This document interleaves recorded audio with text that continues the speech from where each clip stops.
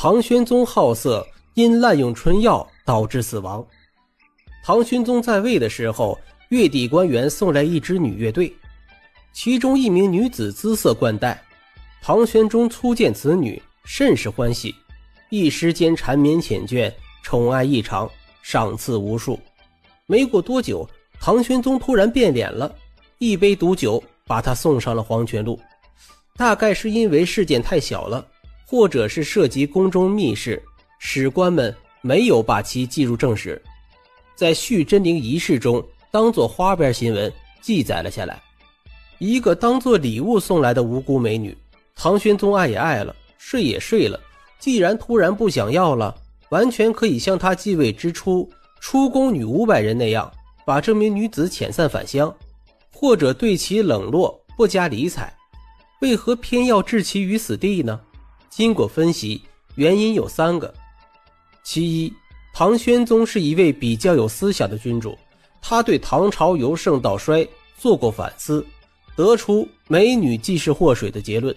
他没有从封建君主自身找过原因，却把唐朝的败落推给了杨贵妃，认为杨贵妃是引发安史之乱的导火索，而他身边那位越女呀，无异于现在版的杨贵妃。虽然越女没有祸国。也没有殃民，他既不懂政治，也不问政治。可唐玄宗知道自己好色而缺乏自控力，如果自己不以祖先为戒，迟早会被美色迷住的。所以对这名乐女是心存芥蒂。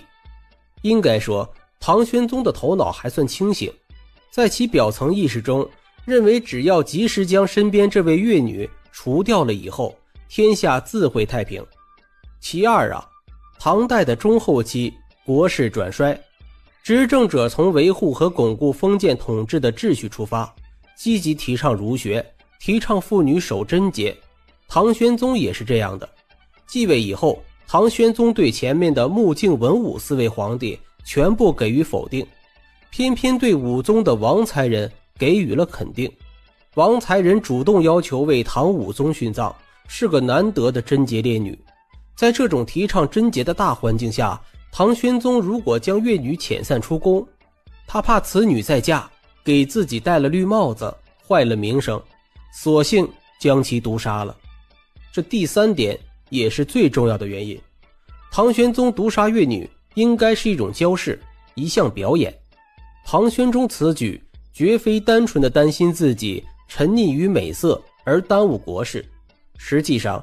是在通过杀掉绝色美女，向臣民表示他不慌乱、不贪色、不受女色的诱惑。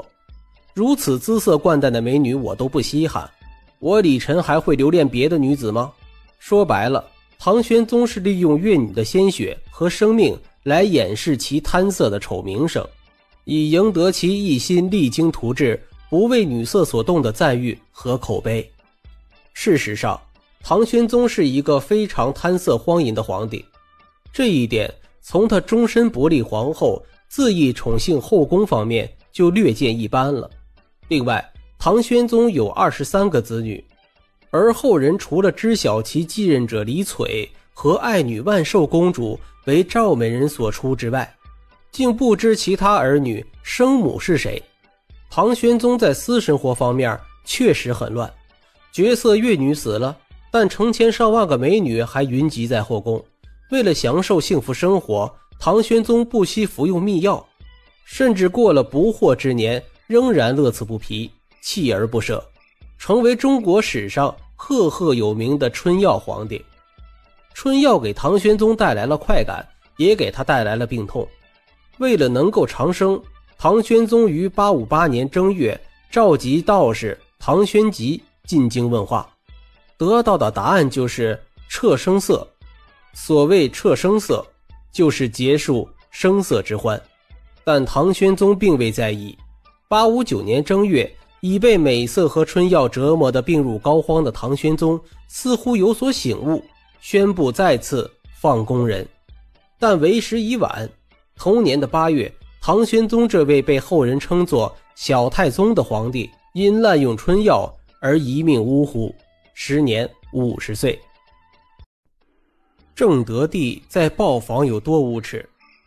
朱厚照是张皇后亲生的，而且是嫡长子。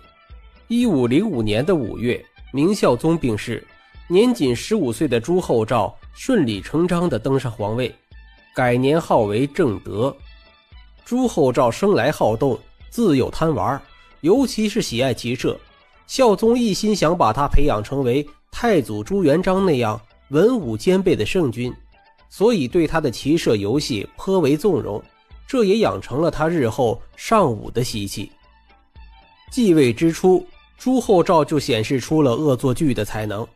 在奉天殿，他常让猴坐在犬背上，燃起爆竹，一时间猴跳狗奔，皇帝的庄严荡然无存。原来在东宫侍奉他的那帮宦官，特别是太监刘瑾、古大用、张勇等八人，更是得到他的宠幸。小人得志。蛮横的不得了了，众人叫他们八虎。这帮人整天陪着武宗是吃喝玩乐、击球走马、放逐鹰犬，这些东西玩着玩着就腻了。朱厚照突然想体会一下经商的乐趣，八虎便出了主意，在宫中模仿市集，开了六家酒馆、店铺、妓院等等。太监扮演做老板，百姓；武宗则扮演富商。朱老板和宦官们互相贸易，讨价还价，买完东西就上饭馆，然后逛妓院，醉在哪里便住在哪里。像这样的生活呀，夜以继日，一连就是几天。后来他又觉得宫里太闷了，规矩也太多了，所以在皇宫的西侧筹建了一个豹房。工程需要投入，朱厚照对金银产生了莫大的兴趣。刘瑾趁机进言说：“你父亲当皇上的时候啊，天下官位都由司礼监举用，这活儿啊是特别的肥。你要不信，就把掌印太监抄了，准有三屋子金银。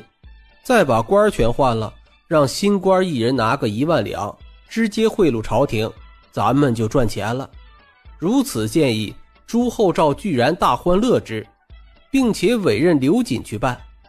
豹房位于西华门外，与宫殿相连，有室两百多间，历时五载落成，耗费国库白银二十四万两。豹房建好以后啊，朱厚照迫不及待地搬了进去，从此不再受朝廷内政清规的限制了，整天与宦官、藩僧、异域术士厮混在一起，玩得昏天暗地。只有在傍晚的时候才会见群臣，朝中大臣一再规劝，朱厚照也是好言听劝，接着就抛之脑后了。诸多老臣失去耐心，纷纷辞去了官职，或者被升职外调，只剩下三阁老李东阳等人与刘瑾周旋。名曰豹房啊，应该养的是生猛野兽、禽鸟鱼虫的处所，其中更应该以豹为主。可实际上，根据《万历野获编》及《勇壮小品》等记载，其中仅有文豹一只，土豹三只而已。养的最多的是大群的各族女子，被驯养成能歌善舞、充满邪气的妖艳私娼，供武宗戏弄。史上记载，武宗总是夜间行动，见到高大的房屋，直接就进去了，或者是索引。索引就是要点喝的，或者是搜其妇女，直接就强抢民女了。这是民间的疾苦啊！其手下的侍臣知道主子的怪癖，竟然助纣为虐，也搜集良家妇女，有的时候竟然达十车之多。到后来呀，武宗就连平民寡妇都不放过。随着时间的推移，朱厚照烦透了沉闷的皇宫和无聊的政事。微服行游京师也提不起兴致来，逆臣江彬于是鼓动武宗离开京城，到西北游行。这对一向以雄武自居的武宗颇具有吸引力，因为他一直梦想着能在广阔的草原上一展雄姿，开创不世之业。江彬还告诉他，那里美妇很多，自然增加了武宗的兴致。一五一七年，武宗一行。浩浩荡荡地来到宣府，宣府就是宣化，当时称为宣化镇。它雄踞于京师西北，据守在长城线上，距北京约四百里，是蒙古敌军南下的必经之途。武宗决定在这里建造镇国府。为什么称为镇国府呢？原来武宗自封总督军务、威武大将军、总兵官，并为自己更名为朱寿，后来又加封为镇国公，令兵部存档，户部发饷。亘古以来。还没有哪个皇帝自降身份向朝廷称臣的，真是视国事为儿戏呀！在江彬的鼓动之下，武宗除了大肆修缮镇国府以外，还下令将豹房内的珍宝、妇女运来，天充镇国府。他把宣府称作家里，有久居常住之意。宣府是北方的重要军镇，是抗击蒙古入侵的第一道防线。武宗在内心里。仰慕太祖朱元璋和成祖朱棣，盼望自己能像他们一样立下赫赫战功。而且在宣府还有一个好处，就是再也不用听大臣们喋喋不休的劝谏了。武宗下令，大臣一律不许来宣府，只有豹房的亲随可以随时来去。在豹房和镇国府两处，武宗为所欲为，乐不思蜀。齐王田地摆架子致死。什么是架子呀？字典上的解释就是用表现来提高自己的一种虚骄姿态。用通俗的说法，架子就是一种虚荣心，一种自高自大、装腔作势的作风，一种无形的精神枷锁。人们还把架子戏称为“臭架子”，可见对其的厌恶之深。俗话说：“骡马架子大了能驾辕。”人架子大了不值钱，特别是那些有一定权势、有一定地位的人，念念不忘自己的身份，常常放不下架子，总好摆谱，以为那样能显示自己的身份、自己的身价，结果摆来摆去，反倒让人觉得是一种虚伪和肤浅。把架子摆得最不可理喻的是战国时的齐闵王田地。此公在燕国军攻入国都的时候仓皇出逃，但东方大帝的尊严架子仍然不变。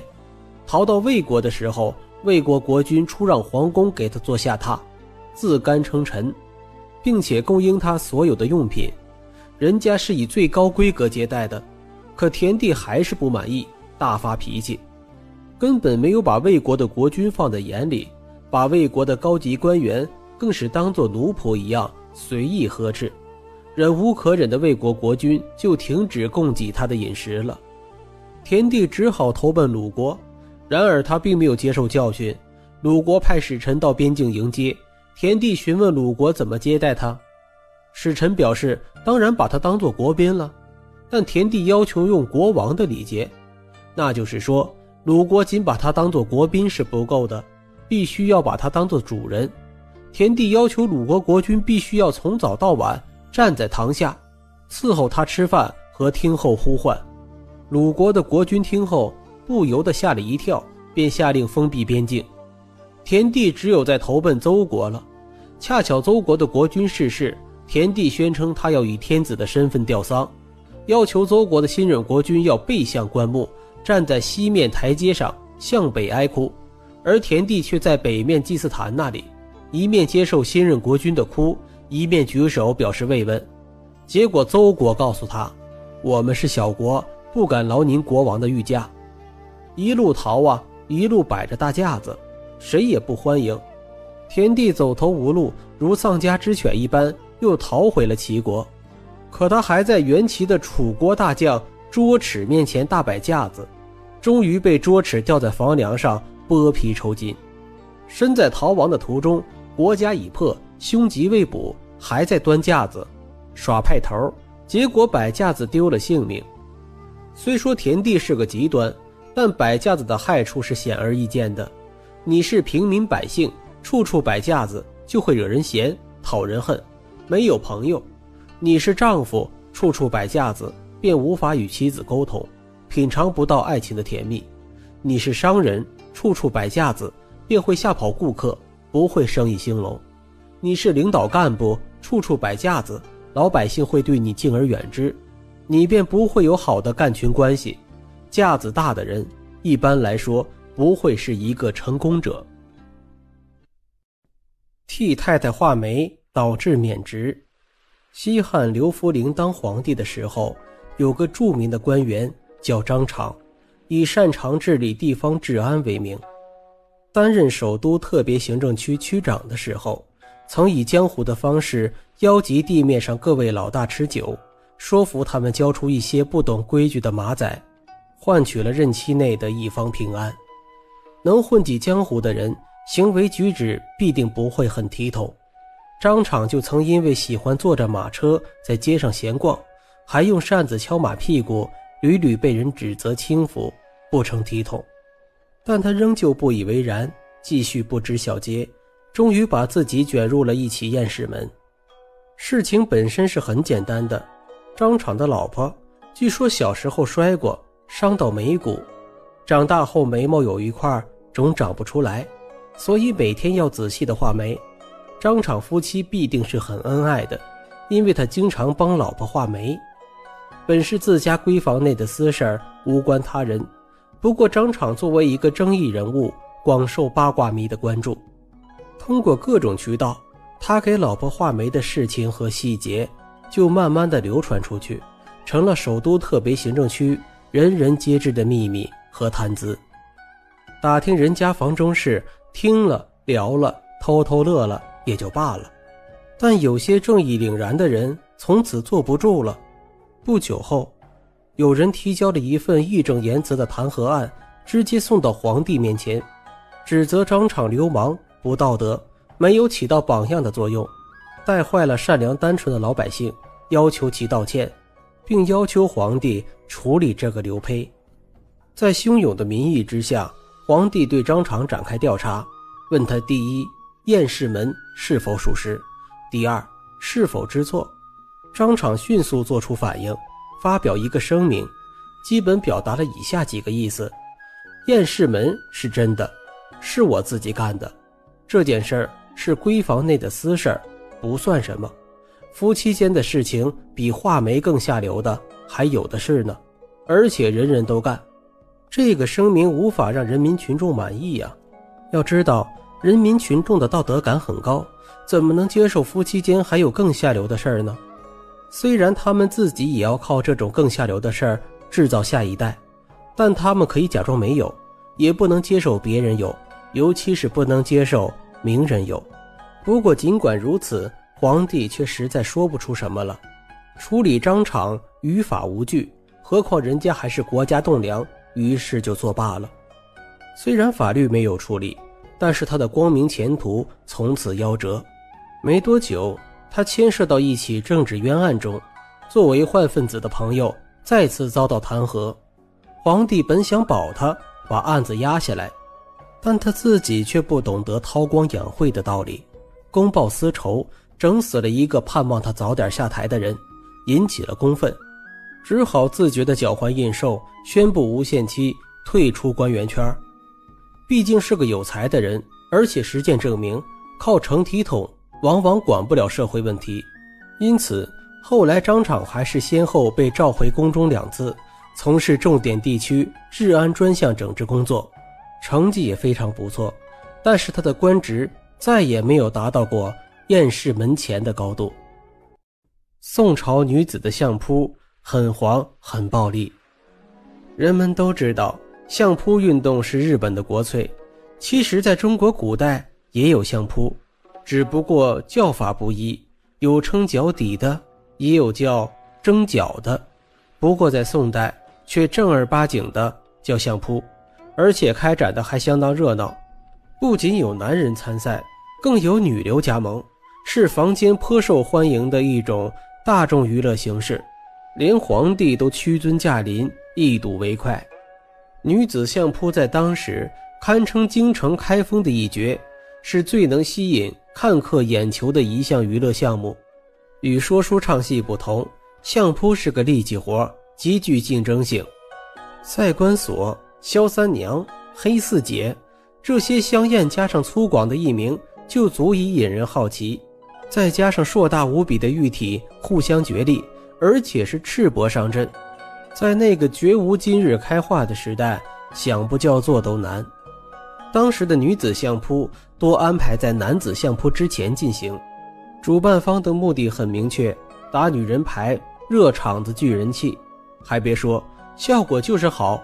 身怀绝技的女子相扑们擂台上惊艳一立，立马会招揽成群的看客。不过，最吸引人的看点不是比赛本身，而是选手们的劲爆火辣装束。这些大姐个个是轻装上阵。具体轻装到什么程度呢？史书上没有详说，但有裸戏的记载，想必是轻到最大的限度了。能不遮盖的地方，尽可能的省去掉。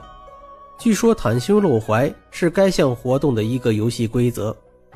要说市井小民里三层外三层的争相看着，也不足为怪，因为他们本来见识少。可见多识广的皇帝也不顾高贵的身份来凑热闹。就有些令人费解了。不过费解归费解，人家宋仁宗就是不顾世俗，开眼界来了。嘉佑年间的一个上元日，赵祯携后妃到宣德门广场与民同乐。当时广场上正在进行热闹的百戏表演，宋仁宗东瞅瞅西看看都没兴趣。无意间发现火爆进行中的女子相扑表演，一下子来了兴致，很投入，很着魔。马上观看起来，估计是靓丽的风采和精湛的技艺打动了仁宗，他当即指示对这些选手进行奖励。皇帝的赏赐令选手们感奋不已，越表演越卖力，精彩场面不时出现。巾帼力士们的群体秀让仁宗皇帝着实感受了一回，但确实激怒了一位颇有名望的朝臣。负责为皇上写起居注的史官司马光，老先生认为仁宗此举不太应该，在如此神圣的地方表演这种很黄很暴力的裸戏，本来就是很荒唐了。